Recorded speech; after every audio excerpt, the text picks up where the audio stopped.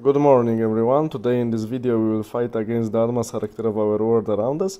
As we always do on this channel, today this new old, old new scenery. And in this movie I would like to uh, refer to one important issue.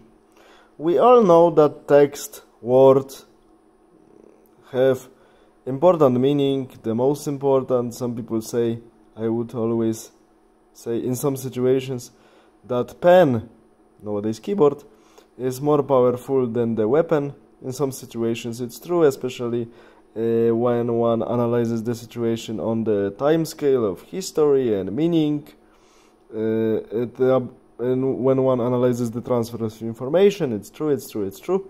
But uh, mm, I myself, as a uh, admirer and fan of military history as the uh, listeners to my channel already know. Uh, have to tell you that I really appreciate very nicely done illustrations. Because uh, yeah yeah some people say that one illustration is more than 1000 words.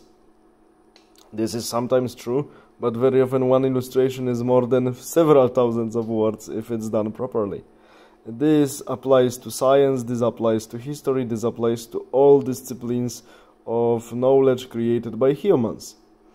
In terms of military history, now I'm a happy owner of increasing collection of the volumes uh, of uh, book series of book books entitled The Military History of the Late Roman Empire by Mr. Ilkka Syvänne Guy comes from Finland, but he was affiliated for some years with the Haifa University in Israel uh, uh, on the classical department uh, of the Department of Classi Classics. Uh, and he writes nicely about the military history of Rome.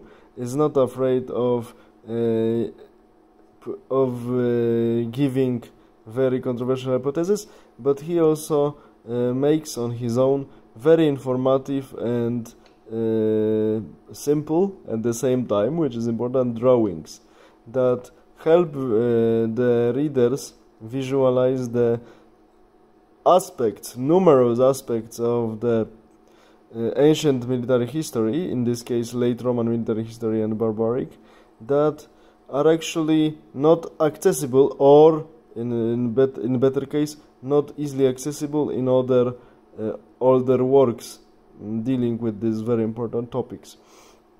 That's why uh, pictures are very important and they have to be done pro properly.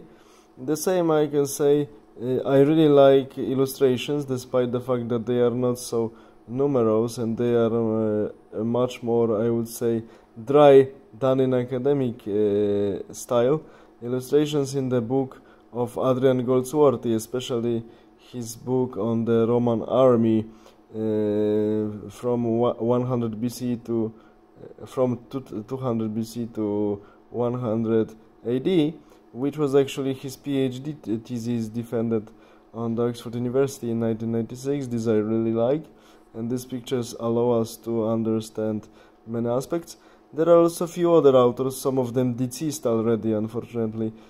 I, I really admire who are military historians who, who were also uh, great painters like Polish historian who was uh, dealing with the history of military history of Slavic nations and especially he was focusing on their contacts with the steppe nation uh, I mean Andrzej Michałek. But uh, okay luckily there are some historians who really know that not only text not only word which which are very powerful and persuasive but also picture. And at the end I have to mention, also deceased recently in 2014, one of the greatest repre represent uh, one of the greatest representatives of historical illustrators and also historians in at the same time, Peter Connolly. All uh, all admirers and fans of classical ancient history know his books, especially Greece and Rome at War, it's really hard to find something better and I think and I think for generations to come this will be the best position. Also his other publications are more than perfect.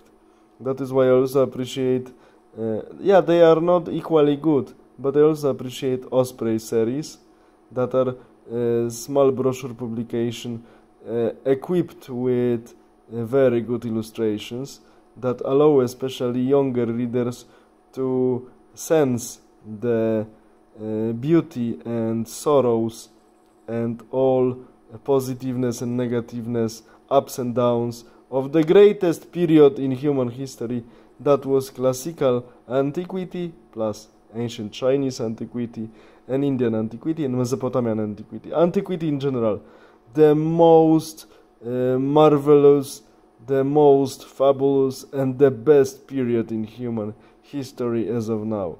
Take care, all, all the best, have a nice day.